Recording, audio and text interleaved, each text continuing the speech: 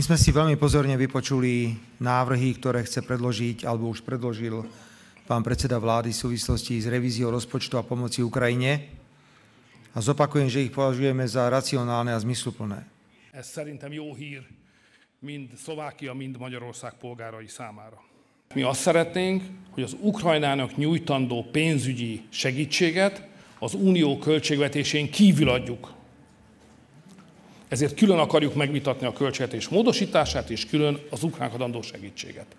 Azok, akik a költségvetésen belül akarják odaadni a pénzt Ukrajnának, azok nyilván össze akarják kapcsolni a két kérdést. De mi nem akarjuk. A mi álláspontunk a következő. Ha meg akarjuk segíteni Ukrajnát, amire szerintem egyébként szükség van, és ebben egyetértek a miniszterelnök úrral, akkor ezt úgy kell megtennünk, hogy ezzel ne okozzunk kárt az unió költségvetésében. Márpedig 50 milliárd eurót odaadni négy évre előre az unió költségvetéséből, az a költségvetési gazdálkodás és az ahhoz kapcsolódó nemzeti érdekek megsértését jelenti. Azt sem tudjuk, mi lesz negyed év múlva, nem hogy négy év múlva. És ez egy akkora összeg, ami szétfeszíti a költségvetési gazdálkodás kereteit, és a végén bekövetkezhet az, hogy valóban az egyes nemzeteknek járó pénzügyi források egyszer csak Ukrajnában kötnek ki.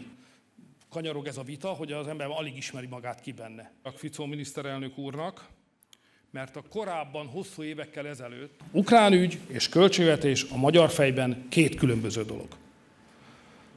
Tersku všetko dobré, želám tebe súkromne, osobne všetko dobré a teším sa, vidíme sa skoro 1. februára v Bruseli, kde s plným pochopením budeme sledovať tvoj legitímny súboj za to, čo si začal na ostatnej Európskej rade. Vážené dámy a páni, nemôžete očakávať od krajiny, ktorej sú odobraté fondy, aby dávala peniaze inej krajine. To jednoducho nejde. To nie je férové, to nie je spravodlivé.